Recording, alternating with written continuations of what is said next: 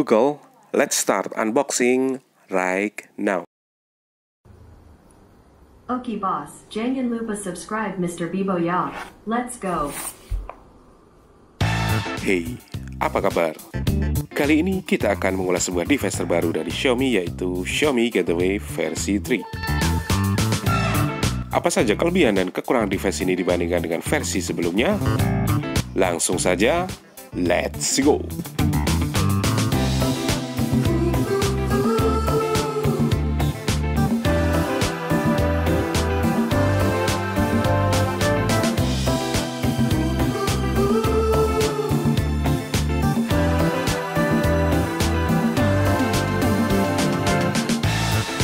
Mi Gateway versi 3 merupakan gateway Xiaomi generasi ketiga yang dilengkapi dengan triple koneksi yaitu Wi-Fi, Zigbee, dan BLE.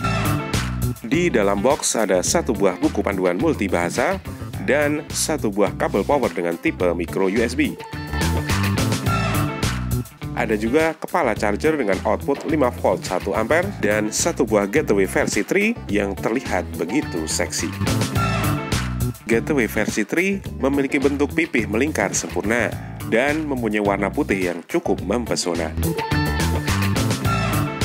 Terdapat logo Mijia di bagian atas device ini. Di bagian belakang ada slot micro USB. Dan di bagian depan ada tombol untuk mereset device ini.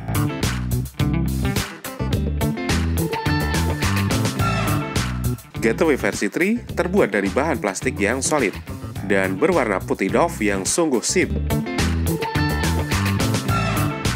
Di bagian bawah juga ada karet anti-slip yang bikin device ini tetap aman ketika kesenggol maupun kesambit.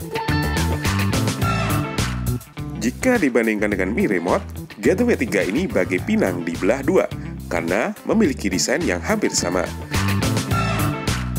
Hanya ukuran saja yang lebih besar Mi Remote daripada Gateway versi 3. Tertanam Wi-Fi dual antena menggunakan 2x2 MIMO wireless teknologi dengan signal yang lebih stabil dan jangkauan yang luas. Device ini menggunakan Zigbee 3.0 yang katanya memiliki respon lebih cepat dibanding sebelumnya. Berikut ini info detail dari Xiaomi Gateway versi 3.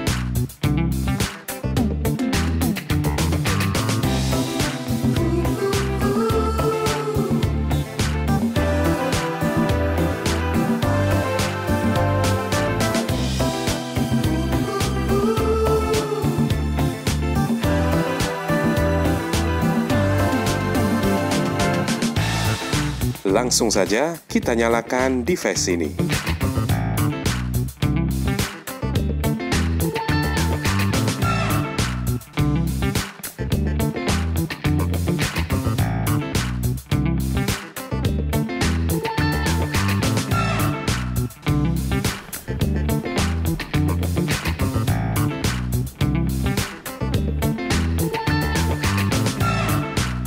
Buka aplikasi Mi Home dan klik Add New Device. Device baru akan terdeteksi dan klik untuk menambahkan device baru.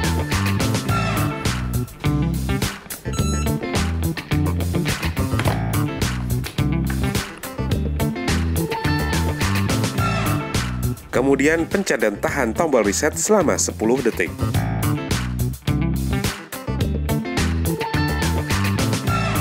Pilih akses point WiFi dan tunggu hingga device tersambung dengan Mi Home.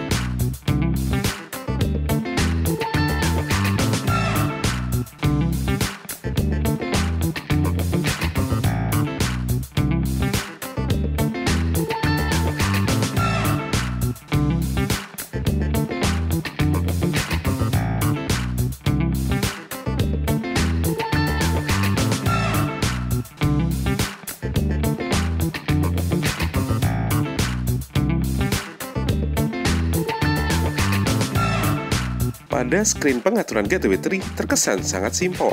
Ada tiga opsi guard yaitu at home, away home, dan sleep.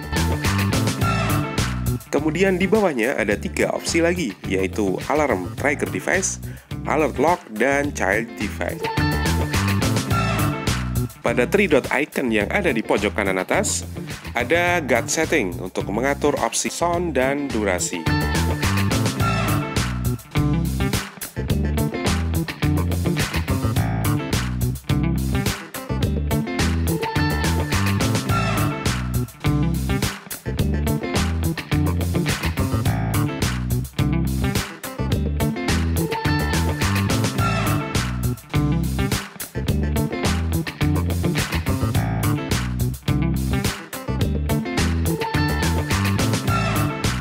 Kemudian ada indikator light untuk mematikan dan menghidupkan lampu indikator device. Dan ada BLE Gateway untuk menambahkan device yang menggunakan koneksi Bluetooth Low Energy. Kemudian di automation, jika sebagai trigger hanya tersedia sebagai alert, dan jika dijadikan respon, tersedia opsi on dan off ketiga guard setting yang disediakan.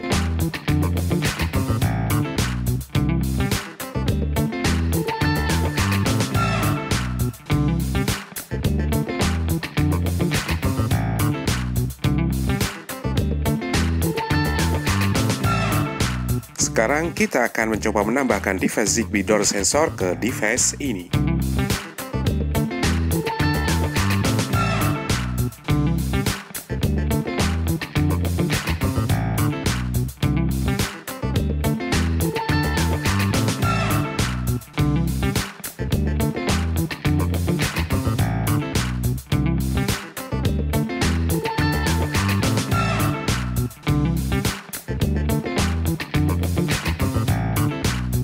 Door sensor berhasil ditambahkan. Sekarang kita coba fungsi guard yang ada di device ini dengan mengaktifkan door sensor sebagai device trigger.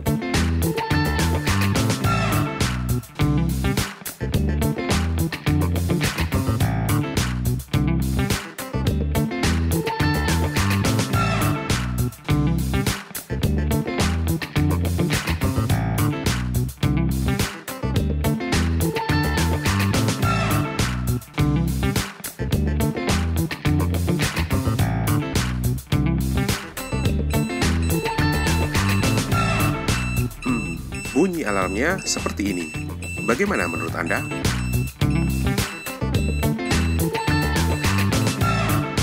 Sekarang kita bandingkan suara alarm dari Gateway versi 2, Gateway AC, dan Gateway 3 ini. Let's go!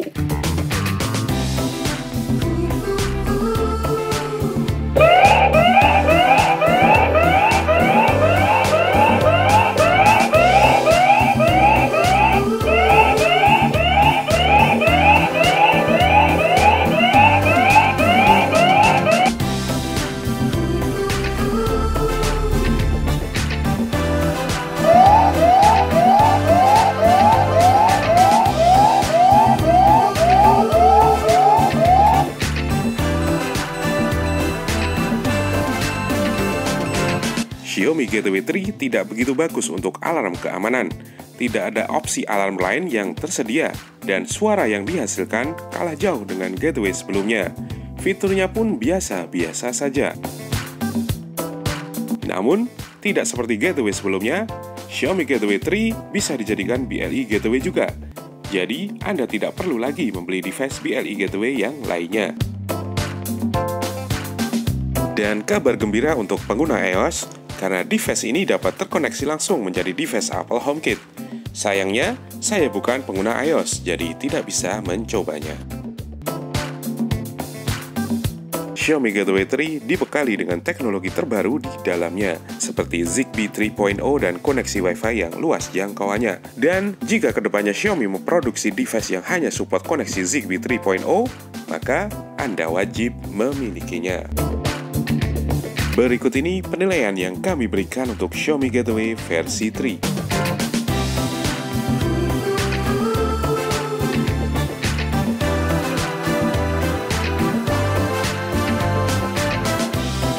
Di video selanjutnya, masih banyak sekali device yang ingin kami review.